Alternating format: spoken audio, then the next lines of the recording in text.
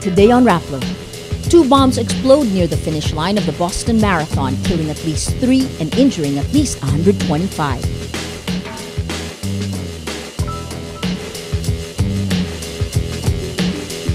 A 7.8 magnitude earthquake hit southeast Iran, killing at least 40 people.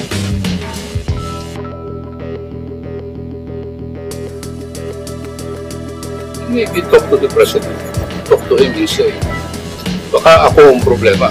So, baka gusto ko, baka umalis na muna ako. Ngayon? Maglagay na muna kayo ng iba. And Chairman Sixto Brillantes offers to resign after a series of Supreme Court rulings against the COMELEC.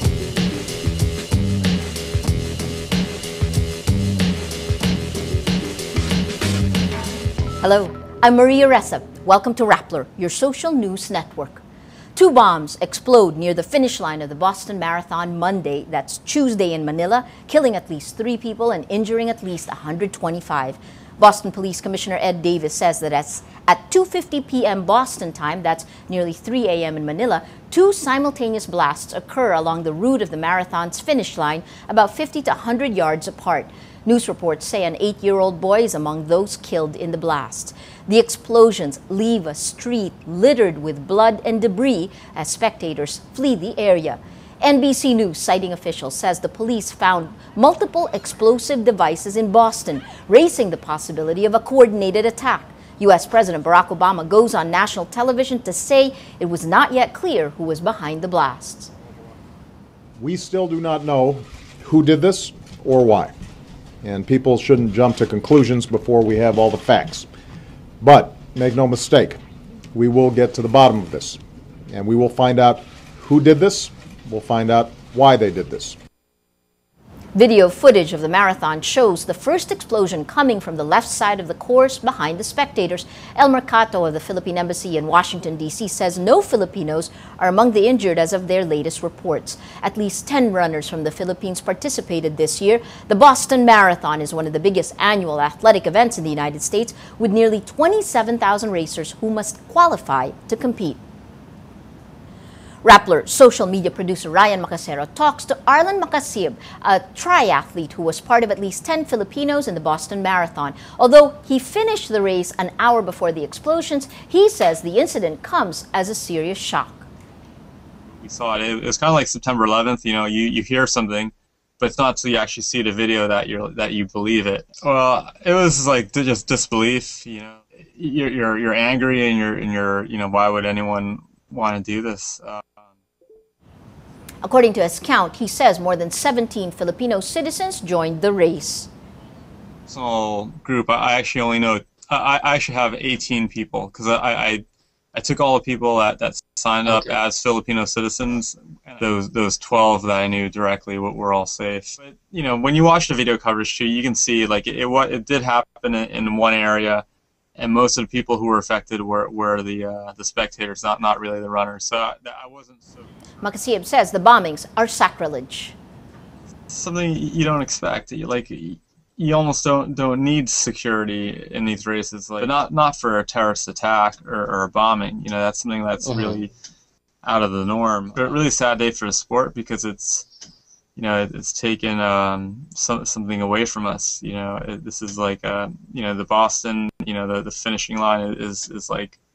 Uh, holy grail for, for a lot of runners and, and they just you know it was a sacrilege what, what, what happened there you know Makasib says he plans to continue joining marathons in the future. if we don't participate, then we let these guys win. You know, who, who's are responsible for, for the attack. You know, that, that that's that's what they want. They want us to live in fear. So, so you know, I, I think we need to, to not let this affect us. We, we need to. A U.S. military helicopter taking part in a joint South Korea U.S. drill crashes near the North Korean border Tuesday. In a statement, U.S. forces in Korea say the CH 53 Super Stallion helicopter, quote, executed a hard landing while on a routine flight in Cheorwon County, which touches on the border with North Korea. The precise cause of the accident is not yet known. Five other crew members and 16 other service personnel are taken to a U.S. military hospital in Seoul. The accident occurs at a time of heightened military tensions on the Korean Korean peninsula, partly due to North Korea's anger over the military exercises, which it sees as an invasion rehearsal. There are 28,500 U.S. military personnel permanently stationed in South Korea. A 7.8 magnitude earthquake hits Iran in a remote area close to the Pakistani border Tuesday at about 3:44 p.m. Iran time. The Iranian Seismological Center says the quake was located about 81 kilometers north of Saravan in the southeastern province of Sistan, Baluchistan. The BBC reports tremors were felt across the region of the Middle East all the way to the north. Iran's government-run TV initially estimated 40 killed. Reuters says Iran's Bushehr nuclear power plant is not damaged. The U.S. Geological Survey report says the depth of the earthquake was 15.2 kilometers. Voting, voting 9 to 6, the Supreme Court stops the Commission on Elections from implementing its airtime limits on political ads. The order comes barely a month before the May 13th elections during the home stretch when senatorial candidates scramble for paired for paid airtime to maximize name recall. Under COMELEC Chair Sixto Brillantes Jr., the poll body set new airtime caps for political ads to be faithful to the intent of the Fair Elections Act. For all national candidates, an aggregate of 120 minutes in all TV networks and 180 minutes in all radio stations. For all local candidates, an aggregate of 60 minutes in all TV networks and 90 minutes in all radio stations. In February, broadcast networks GMA7, TV5, and the Kapisanan ng Broadcaster ng Pilipinas or KBP asked for a temporary restraining order on the COMELEC rule. They say the limit is too restrictive and violates the people's right to information. In previous elections, the COMELEC under Chair Benjamin Abalos imposed a more liberal interpretation of the law, 120 minutes per TV station and 180 minutes per radio station. The nine who concurred are Justices Antonio Carpio, Martin Villarama, Jose Mendoza, Lucas Bersamin, Justices Teresita Leonardo de Castro, Diosdado Peralta, Marvic Leonen, Presbitero Velasco, and Jose Perez. Those who dissented are Chief Justice Maria Lourdes Sereno, Justices Arturo Brion, Bienvenido Reyes, Mariano del Castillo, Estela Perlas Bernabe, and Roberto Abad. Dismayed by the Supreme Court rulings against the reforms he initiated at the Commission on Elections, Chairman Sixto Brillantes Jr. says he's thinking of offering the president his resignation. Brillantes says he's disappointed with the court's order stopping the poll body from implementing airtime limits on political ads. Tatrabaho lang ako rito on making the reforms necessary. Pero kung TRO-TRO lang, tsaka may status quo ante, eh, ba't ko naman pahirapan ang sarili ko rito? Maybe talk to the president. Talk to him and say, baka ako ang problema. So, baka gusto ko, baka umalis na muna ako. Ngayon? Maglagay na muna kayo ng iba. Pag-aralan ko lang. Serious. Oh, oh. The Supreme Court upholds an earlier ruling limiting the number of congressional representatives in the Judicial and Bar Council to one. The JBC is the body that screens candidates for the judiciary, voting 9-3-3. The court junks the motion for reconsideration filed by Iloilo Representative Niel Tupas and Senator Francis Escudero. In July 2012, former Solicitor General Francisco Chavez questioned the JBC's eight-member composition. The Supreme Court ruled in his favor, saying the JBC should only have seven members instead of eight, with Congress represented by only one lawmaker.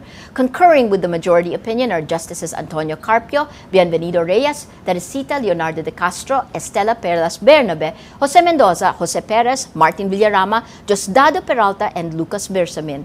Justices Mariano del Castillo, Roberto Abad, and Marvic Leonen dissent.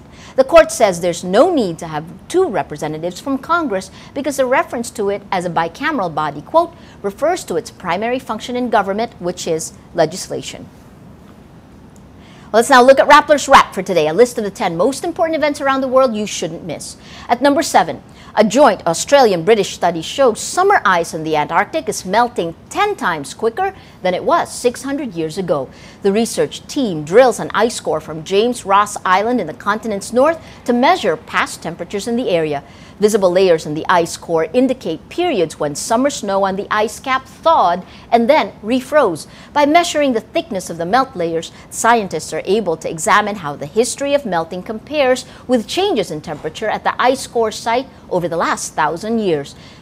At number 8, For the first time, 37 French ministers and Prime Minister Jean-Marc Ayrault revealed their personal wealth on April 15th. In a move President Francois Hollande hopes will restore confidence in his scandal-hit government. With the economy stagnant, senior officials admit the move could create resentment by unmasking several millionaire ministers. It sparks widespread debate in France, where the wealth of public officials has long been considered private.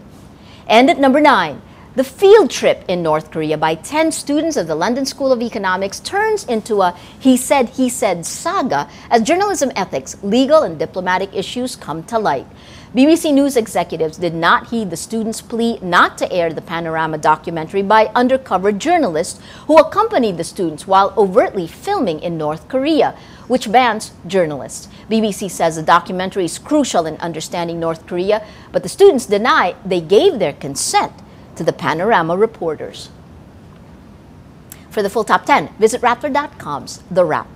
Every story on Rappler has a mood meter which gives you eight emotions to choose from. Click how you feel and your vote comes down to the mood navigator in the middle of the front page that crowdsources the mood of the day. It also gives you the top 10 stories with the most number of votes on the mood meter. These are the 10 stories that affected the way Filipinos feel. If we take a look today, today's story, the video captures Boston terror threat and Twin Blast Rock Boston Marathon, 69% sad, 28% angry. We have uh, Binibining Pilipinas on Sunday, just a day earlier. The winner's crown, 57% happy. And the story that's gotten the most number of votes happened Saturday. Hontiveros to Casiño, this is the Rappler debate. Why mama on NPA abuses, 70% happy. That leads to the mood of the day. If you take a look, Green Day today, most people are happy. Well, that's Rappler's newscast for today, Tuesday, April 16th, 2013. Visit Rappler.com and watch our newscast Monday to Friday. Tell us how you feel on our mood meter and help us crowdsource the mood of the day. I'm Maria Ressa. As we say at Rappler, tomorrow begins today.